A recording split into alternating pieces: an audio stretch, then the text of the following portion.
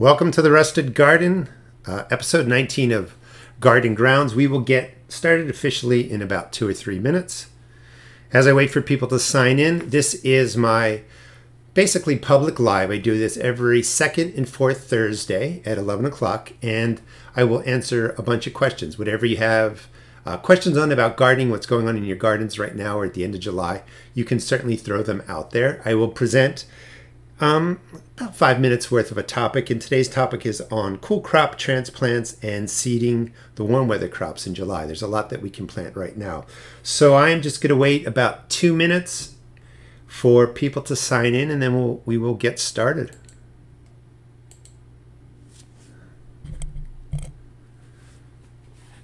Hey, Chicken Mama, you're number one. Brent, number two. And if you guys, being the first ones in, can just let me know if you can see and hear me okay, that would be great. I tend to uh, mess that up fairly regularly. Hello, Bobcat.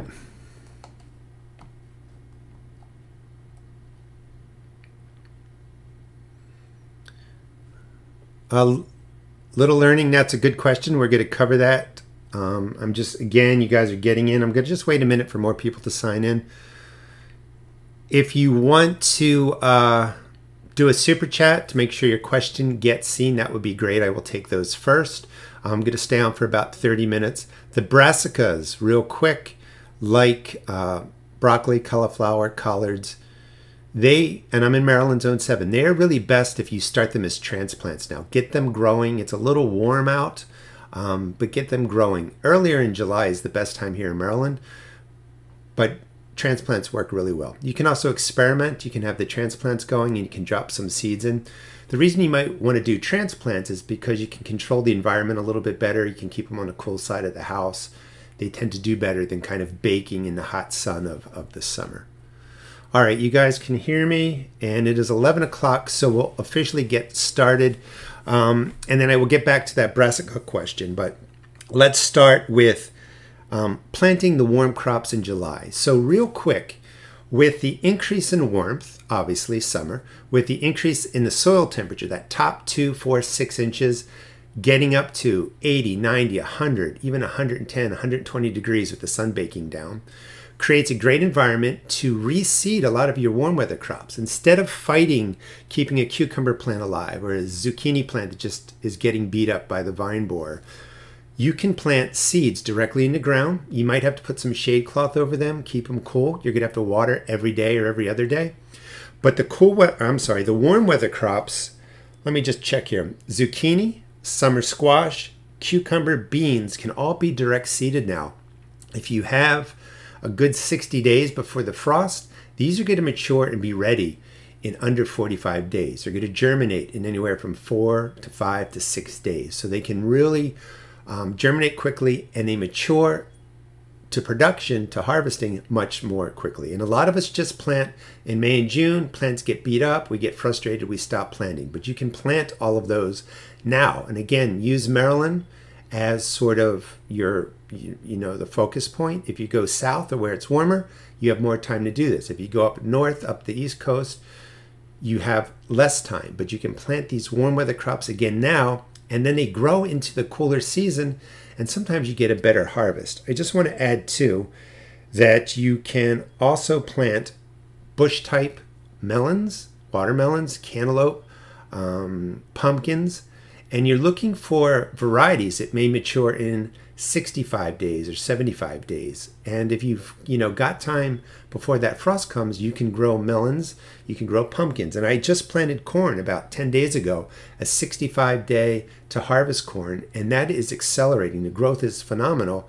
It's going to mature even sooner than that. So I just want to give people a thought that if your garden is beat up warm weather wise, go ahead and plant some of these crops. Um, and direct seed them. You'll be surprised. Just keep them watered. And also you may have to use some shade cloth. So we'll get to the cool crops in a second. Let me check to see what questions we have so far. And if you like this format, I have perk memberships. There are some perk members here. They'll let you know. Um, you know, whether or not it's worth the money. But I do four or five mentoring Q and A's a month, like this. The groups are much smaller. We stay on a good hour, answer any question you might have. And I also do a Grow as We Grow series, which is actually going to premiere today at 12, where Perk members can send in videos or video questions. And I do a couple live classrooms per month. All right, so let me find some questions here.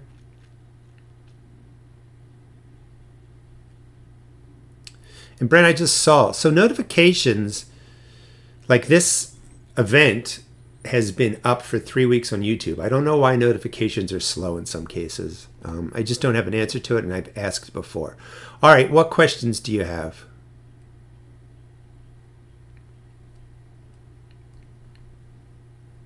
And if you have a question um, and you're just signing in, type question in bold before it because a lot of people are in the chat and sometimes it's hard for me to find a question. And you can always do, you know, a super chat if you want your question to come up to the top here. So let's see. Question, question, questions. Um, Bobcat, um, I saw your question. How do I manage watermelon vines? So there's a couple kinds of watermelons. Um, well, there's a lot of watermelon varieties, but you may have a bush type variety that the vine only gets three feet, two feet, three feet, even four feet. Those you just tend to want to let grow because they're going to have limited amount of flowers and a limited amount of fruit. Other melon plants um, can grow 8, 10, 12 foot vines, and you really just want to shape them into the direction of your path, and you want them to grow a good amount but if you have melons forming, the vines are getting out of control, you can actually cut the tips of them and just let the melons develop that are on there. Or you can remove some of the side vines that come out. So you can prune them. I do recommend trying to give them the space they need so that they can grow. Um, melons, cantaloupe, pumpkins tend to send out roots from the vines. They do better when you just kind of let them sprawl. But you can prune them okay.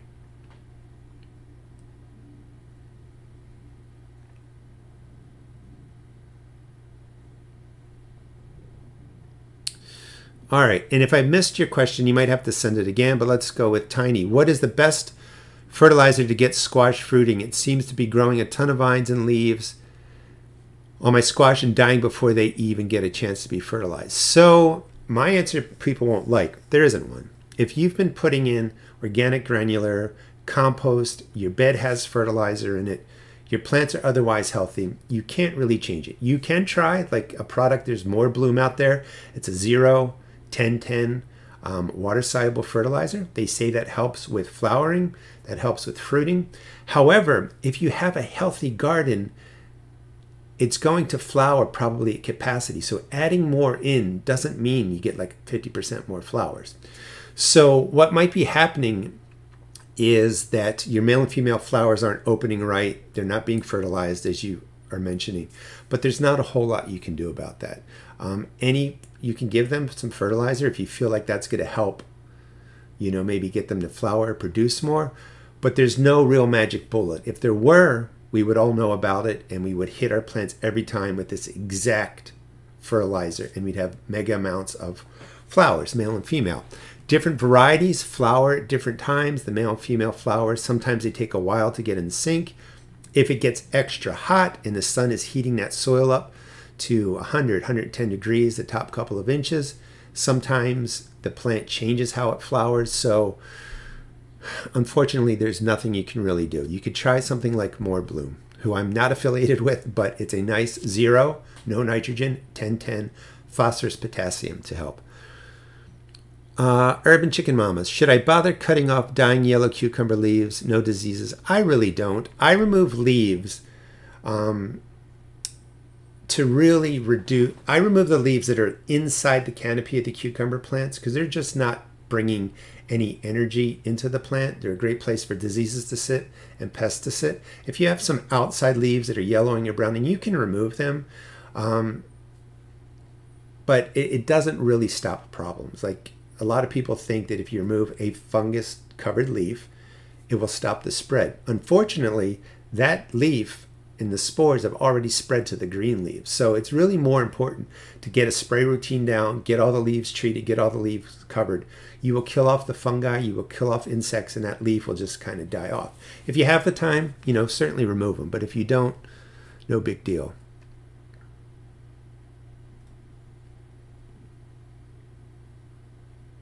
Susan has a good point. Just, you know, the, the days on the peck are never really exact. They're just general. And the warmth of the soil will make them germinate quickly. Maturity may be longer when the days get shorter, but certain plants don't mind that. Um, thanks for the super chat. Let's see what that one is. Brent, an extra thanks for Perk memberships is worth it. Well, thank you very much. well, you also paid for the advertisement. Um, I certainly appreciate it. And I really enjoy the perk memberships. It's just a smaller group of people. People know what they're talking about. People are learning. People are sharing. So it's not just me saying this is how I garden. It's really a lovely interaction. Thank you.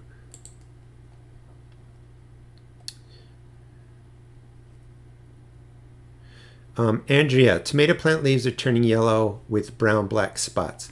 So I do have some videos on it, a recent one. So if the spots have circles within circles within circles, concentric, concentric circles, brown rings, and then a yellow halo around it, it's probably a fungal issue. It could be a leaf spot, it could be um, early blight. They, either case, they need to be treated with an antifungal.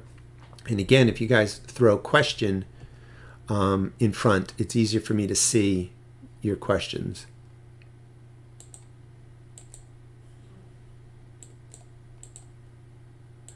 All right, just trying to catch up here.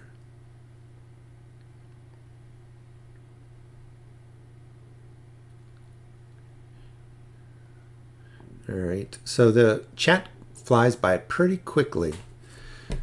What kind of trellis should I be using for my melons? I have tall metal stakes for each of them, but I'm thinking I should trade up for tomato cages. So the more trellising you have for melons, the better. The melons can get very heavy. Um, I like using some sort of fencing or cattle panel or something I can weave up. An A-frame of just kind of metal works best. You can send the, uh, the melons or cucumbers or pumpkins up one side, down the other, and back up again. The biggest thing with the melons is they're going to develop and it can get heavy. So if they're hanging from the trellis, you need to support them with something underneath tie it to the trellis so that the weight of the melon doesn't tear away from the vine or break the vine.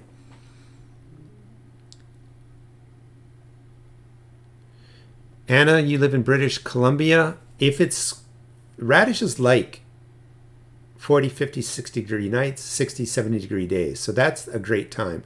What I would do is start planting them. Um, and what I always recommend is middle of August. It's a little hot here for radishes, but plant them middle of August, maybe do like 25. Um, in another two weeks, do another 25. And then you can kind of see how they adjust to the cooling temperatures. Radishes can mature in, in as little as 25 days to 40 days. So there's not an exact time. There's probably kind of a span, but radishes can take a frost and you can, you know, keep planting them pretty far into the fall until you're getting really heavy prolonged frosts. Let me answer a few more questions and then we'll get to the cool crops.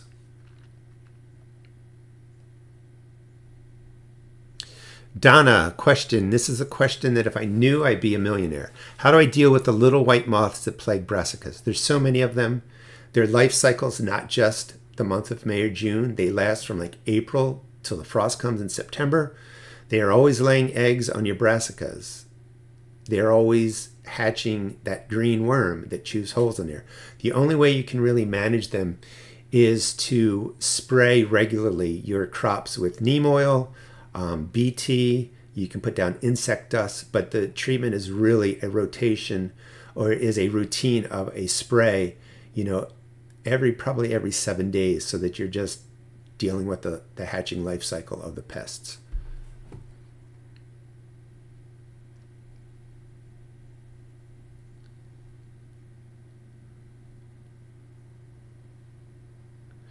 Diane, I don't know what's affecting your green peppers. Um, it could be a fungal issue, but I'd have to see the, the plant.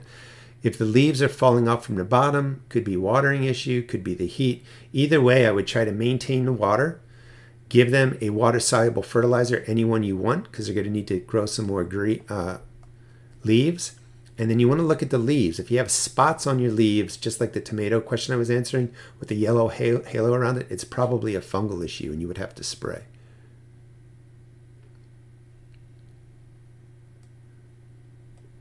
All right, so let's go. We're at 11:13, so I am going to go to 11:30. So let's go to the second part of today's topic: cool crop, cool crop transplants. Again, I'm in Maryland. You know, for me, starting some of these cool crops at, as seeds, as transplants, should have started maybe you know one to three weeks ago. But Cool weather crops can take a frost, so we're using the warmth of August, July to get these plants to a size so that they mature, especially where we have shorter seasons. You figure out your cool crop planting by sort of picking the first frost date, and you're not worried that frost is going to come and kill them because they can take a frost. The leaves can freeze, they do well. That's just to kind of give you timing. If you try and do cool crops like in June, you get them growing. A lot of them just don't do well. They don't like the hot soil, they don't germinate, um, they flower, they bolt, they taste terrible. Uh, radishes become woody um, or don't bulb. So you're really figuring out the timing so that you can get them into the August garden, get them growing, and then they mature when it's cool out and you get the frost. So the plants that you might want to start as transplants because you can kind of control where they're growing. Start them in like yogurt sized cups. You don't want tiny little cells. You don't want to start them as transplants and keep them in the full sun. Um, six, eight, ten hours, they're going to bake. They're not going to do well. You want to start your transplants either indoors or keep them sort of on, I don't know, maybe the east side of your house or a place that gets morning sun.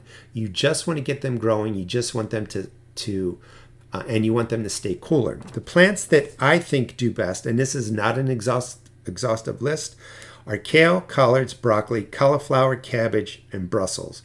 They do really well to start now as transplants, maybe get four to six weeks worth of growth, and then you transplant them out into your garden somewhere, you know, in the middle of August. Again, I'm in Maryland.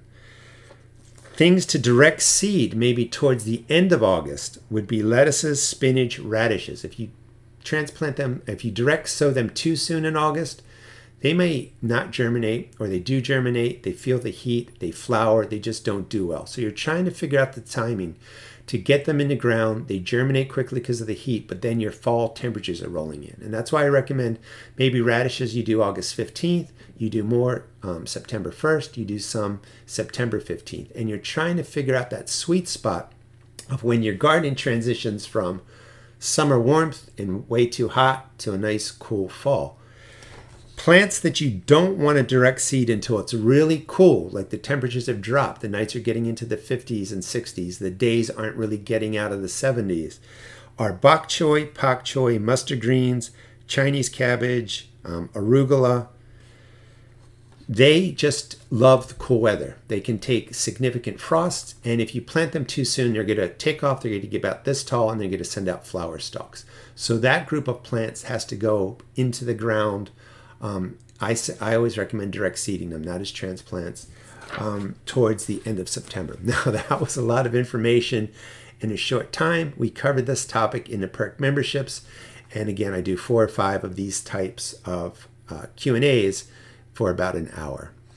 All right, so that's the general topic. And the point is that you can start planting cool crops around now, either as transplants, keep them in a cool side of your house or out of direct sun. You can start putting seeds in for the cool crops, but don't forget you can still put into warm crops. If everything has been devastated by whatever, put in more cukes, zooks, beans, and you will have harvest later in August early September, really into that frost comes and it will damage the warm crops. Hi, Joey.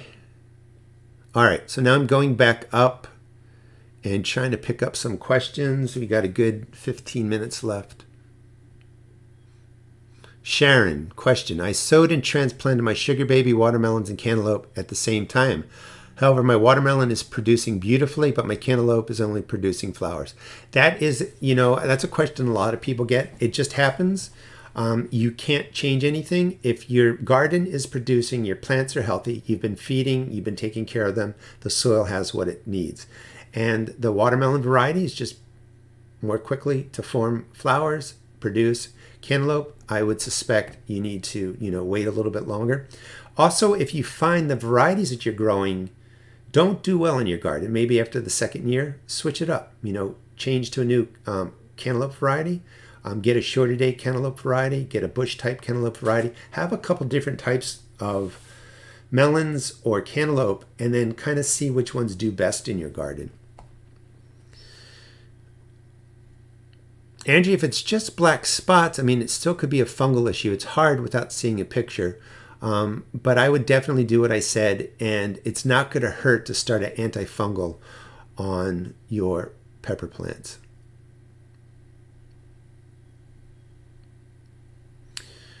Bonnie, understanding um, maturity dates is confusing to me. Yep, and most people. Does that mean, say, if maturity is 50 to 60 days, you begin harvesting first fruit 50 to 60 days? What it means is after you put in a transplant, and you got to give that transplant a week or two for the roots to establish. So you're still waiting a little bit longer. After a seed is planted and it germinates, you're counting 50 or 60 days. And that should be about when you get the first something of a harvest. Doesn't mean it stops then. And sometimes bigger harvesting doesn't start till day 60, day 70, day 80. Certain plants can keep producing through, you know, a longer period of time. It's just a guideline. And that guideline doesn't talk to you about soil temperature. Um, some seeds germinate, take longer when the soil is cooler, so they're not germinating, and that count to the 50, 60 days doesn't start till they germinate. Other times, the soil is warm, the day is warm. When they germinate, they're ready to produce in 40 days. Like cucumbers and squash might say 45 to 60 days on the seed pack if you're planting in the spring. But I know that if you plant in the summer, they can be ready and producing. I have zucchini that have produced in 35 days from germination. So it, it just depends. Karen, when are shishito peppers ready to be picked? And I see one from Michelle. Um, they are ready when they're to the size you like. Shishito peppers are tricky because sometimes they're sweet. Um, they'll get maybe, I don't know, what is that, two, three inches long. You can really pick them anytime, but they also can be spicy, like a little mild heat, or the seeds can be hot, and it really varies. Um, Michelle, ye- uh, yellow tomatoes with dark bottoms. So if you have a tomato, the bottom is dark, it's brown, it's black, it's blossom end rot. It usually happens when there's irregular watering, the plant can't access calcium out, and it takes calcium from the tomato and sends it to other places of the plant. The best way to treat that is just to start watering more frequently. You can cut off that brown bottom, assuming that it's blossom end rot and you can eat the rest of the tomato. Um, you could provide the garden with some calcium, like with some lime or something like that, but it's really usually due to watering. And I would keep note of that variety because if your other tomatoes are doing fine, this one could be more susceptible to it. Perk memberships is all a YouTube, Lillian. Um, it's all done through YouTube. So if you go on a desktop to my landing page, you'll see a join button and you hit join gives you the tiers and you just select which one you want to um, you know join at the beginning of each month i put out a list of all the events that will be happening for that month and um, i schedule them and you should get notification from youtube. I also put them in a facebook group and i put them on the community uh, tab on my youtube page. If you're on a handheld device and i've contacted youtube because it's not easy. If you're on a handheld device sometimes it's hard to find the join button. Um, but in every video, in the description, I have perk memberships, and you can click that link, and it should take you to where you need to go.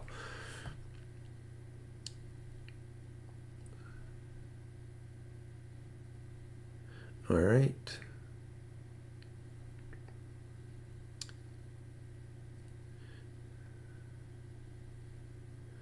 Tiny Purple, what is your white moth spraying routine? Is it on your blog or in your book? I so the routines are always going to vary, so that's why it's always general. It's like every seven to ten days um, works pretty good. But if it rains and and it rains and it rains, then you have to do it more frequently. But the idea is trying to do it every 7, 10, 14 days, and you're just getting the neem oil down or the BT down to always be dealing with hatching eggs, and that white moth just keeps coming. So I'm sorry there's no exact routine. Tony, I had a squash plant planted in a container and it was not producing and had vine borers, so I pulled it and threw it away. Can I replant squash seeds in the same container? Yeah, you can. You can certainly do that. I would try and add in, you know, a handful or two, not a huge handful, but a handful two of um, organic granular fertilizer. Really mix it through, fluff up the soil. Um, water it in with a water soluble fertilizer. Make sure your plants have you know the nutrition to start and just stay up on the watering but you can reuse it. It's possible that the vine borer you know sent a larva down in there and it's going to do its thing but it's the moth it's the or butterfly i forget what it is but it's you know the vine borer uh, moth coming laying the eggs and that what's that's what causes the problem but your soil is safe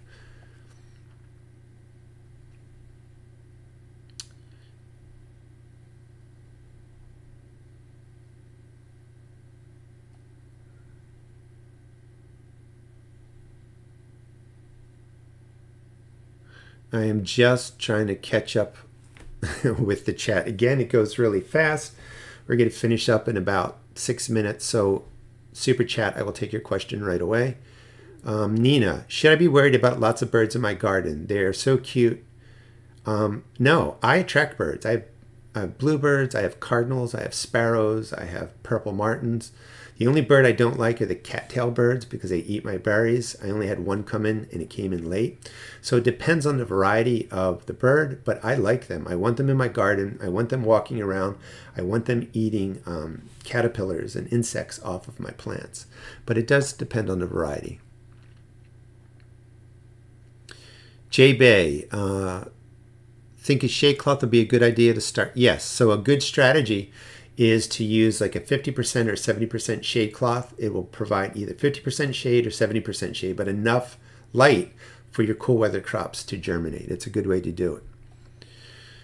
Ruth, can you talk about rust? My pole beans are covered in it. Should I remove them or treat them? So it depends how bad it is. You still have time to replant beans. Usually, beans, if you spray them with an antifungal that will deal with the rust, it gets them under control. Give the beans a water soluble fertilizer if a lot of the leaves are damaged. They do grow back and they can produce. Um, but I would more importantly mark down that rust shows up in your garden and you want to start spraying for it a good two weeks before it shows up. And that's how next year you kind of get a handle on it. Sometimes when we spray once a problem shows up, there's a lot of damage. We can get it under control, but it's really this preventative spraying that makes all the difference. Donna, good question. So snow peas can tolerate frost. And here's the thing, and it kind of ties into some of the stuff people were talking about days to harvest. So I am sowing peas in Maryland now.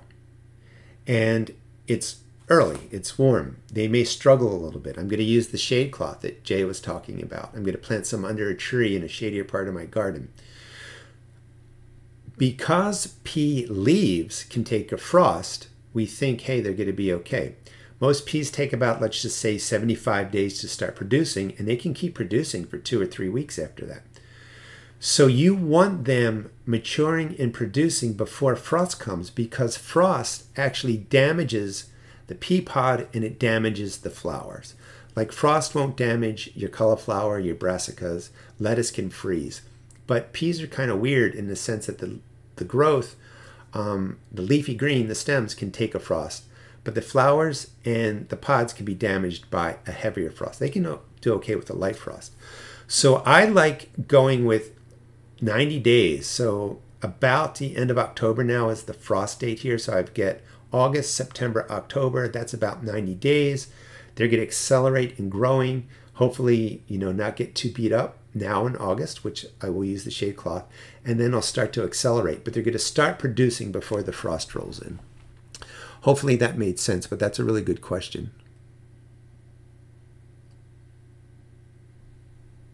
All right.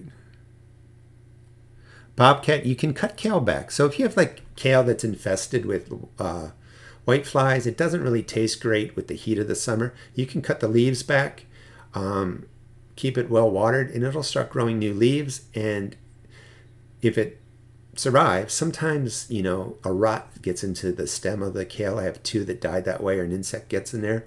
Anyway, if it survives and the cool weather comes in, the taste changes, the leaves take off, and it tastes really, really good. Um, Janet, lettuce. So the fall crops, I can't go over again because I just covered that. But lettuce, you definitely want to do um, later in the season. Lettuce, spinach, radishes, maybe towards the end of August, beginning of September in your area.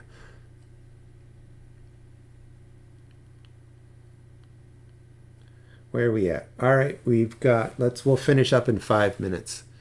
We're also going to be doing a launch of Grow as We Grow, a premiere at 12 o'clock, and that's part of the perk memberships.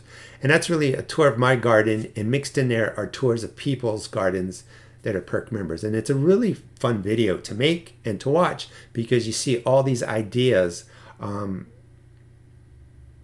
just lost my train of thought. You see all these ideas that you can use in your garden, from trellising to some things that I want to ruin a surprise because I know that Stacy over in Chicken Mama set something up for her garden produce. Um, you get to see that in the video. All right.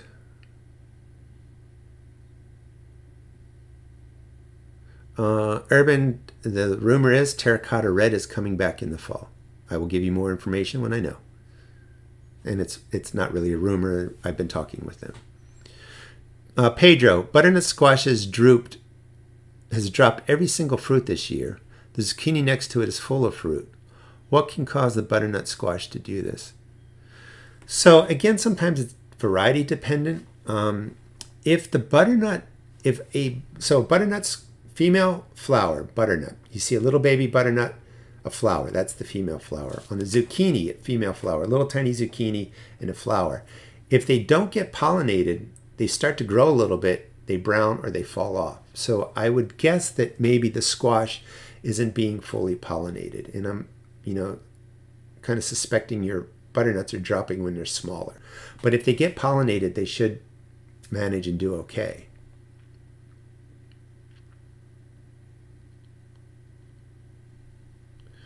Brent, that variety I've grown before of pole bean from All America Selections, it's a great one.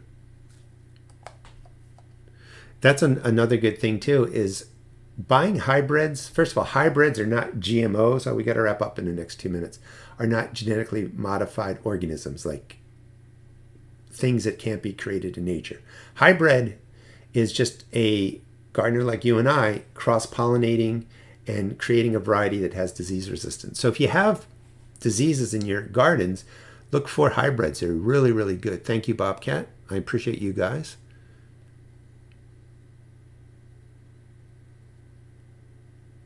Joey, I missed your question. Sorry. Or I answered it poorly. But it's hard sometimes to uh, get all the questions rolling in. Um, Jay, how do you nominate me for Teacher of the Year award? I don't know. I don't even know if they have awards. Um, Joey, if you throw your question out again real quick, I might be able to see it before we wrap up. Um, I don't know, but that's my goals. I just want to teach. I want people to have better gardens, and you know,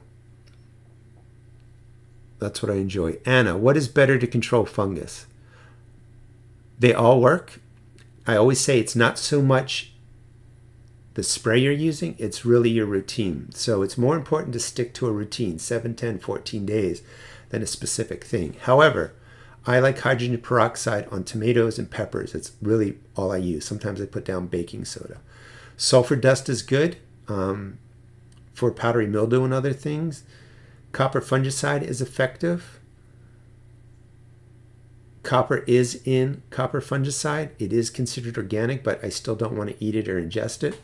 Um, so there's not one that's particularly the best. You just have to be using it in a targeted way. All I can answer to that is um, for tomatoes and peppers, I like using hydrogen peroxide. That's been my go to spray really for the last five years.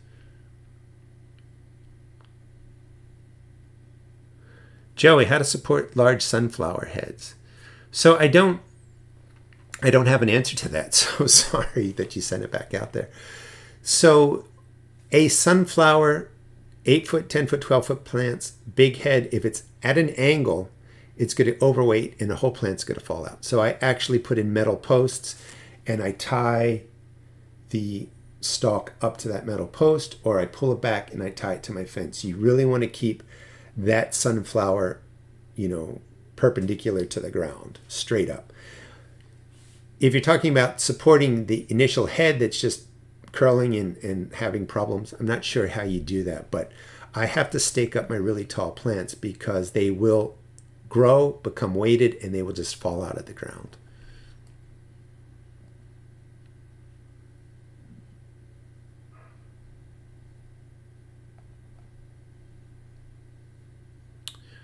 All right, I'm about to wrap up looking for last minute questions. Vicky, I saw I missed yours, so we'll end on yours. My cucumber plant is growing lush and pretty, but there are no flowers, only leaves. Nope, you can't do anything about it. If you check out the internet, it says give them more potassium, more phosphorus, but if your garden is healthy, you have the those nutrients in your ground, you are just waiting for the flowers to start, especially if they're green and healthy. Um, I wish there was a way to speed it up. Again, with that, maybe you only have one variety. I would plant several different varieties of cucumbers um, and see which ones flower and do best because some of them just flower at different rates. If the heat is really, really rolling in, sometimes plants will abort fruits, won't flower regularly, but there's no real way to kind of change that up. All right, we are done. I will do this every second and fourth Thursday at 11 a.m. This is a public live Q&A. If you're inter interested in the private um, perk memberships Q&A, check out any video description. There are links to that. And at 12 o'clock, in 26 minutes, we're going to be doing a premiere of Grow as We Grow, touring my garden and four other people's gardens. All right, you guys have a great week. Thanks so much.